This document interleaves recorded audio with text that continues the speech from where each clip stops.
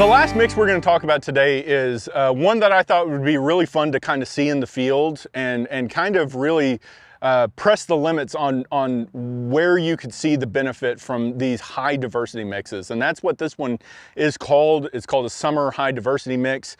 Um, and I think that we counted over 44 species uh, in this field.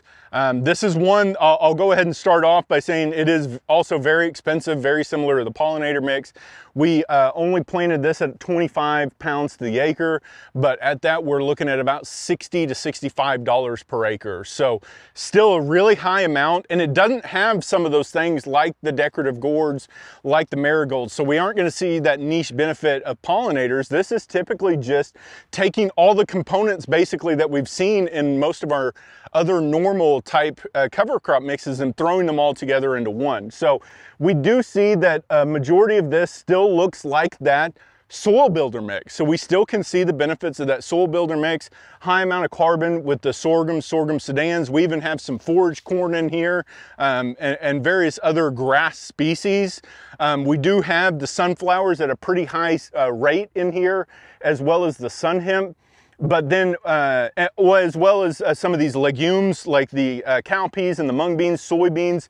But we also have a sub canopy that includes things like mustards uh, and a lot of clover species. So um, one of those things that whenever you start adding in things like mustards, like clovers, like radishes, and then you already have a pretty high amount of things like sun, uh, sunflowers and sun hemp, um, in addition to the grasses, we're, we're just thinking of really high dollar.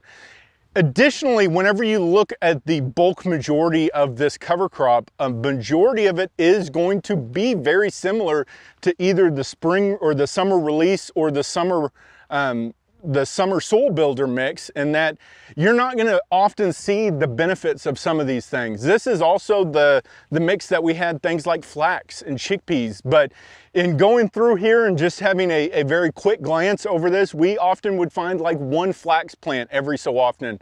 And I, I, think we overall only found a couple of chickpea plants. So while you're paying for having flax and you're paying for having chickpea in there, um, more often than not, especially in Oklahoma systems, you're just not gonna see it. The other thing that we had in here is small grains. We had a lot of oats and rye in here and we didn't really see that come through. Um, once again, because we talk about uh, potentially spring or summer planting of this mix. And when it's hot and the soil temperatures were well into the 90s, we often aren't gonna see those small grains kind of come up.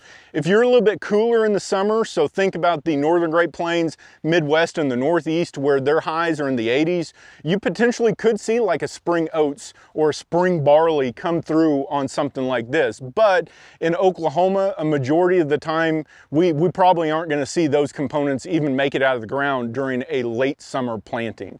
So I, I, guess the overall conclusion I got from this is that you can get very similar things with two of our other mixes we've already looked at today in the soil builder and the summer release you're just paying a lot more for it. And, you have some of these very unique things that are out here, but they're in such small quantities, you probably aren't gonna get an economic return for having chickpeas out here, or even, even the clovers, which are actually uh, in, in the amount of seed pretty high rate. So one of those things, be cautious when you look at these high diversity mixes, because more often than not, we're gonna see the benefit of maybe five to 10 plants out there. And, and remember, your goals, you're looking for one primary goal and maybe a secondary goal. And even with these 37 way mixes, 40 way mixes, you probably aren't even gonna be able to stretch to those tertiary or those fourth order goals. So make sure that we're covering the bases on the primary goal and the secondary goal without just outspending ourselves because even running cattle through the system with the amount of good forage potential that's out here, you're probably still not gonna make up for that, that 60 or so dollars per acre um, return. So really be cautious. Uh, take a good look at, at what um, some of these things uh, are in this mix. I, I really highly encourage uh, individuals come out to our, our cover crop field days, look at what, what looks good in the field, and then build a mix off of that that's gonna look good. So you wanna have good coverage, good soil health, get one of those sorghum sudans and maybe add something like a sunflower or sun hemp onto it and keep it relatively simple, especially that first year or two. That way you can really achieve those goals that you set forth.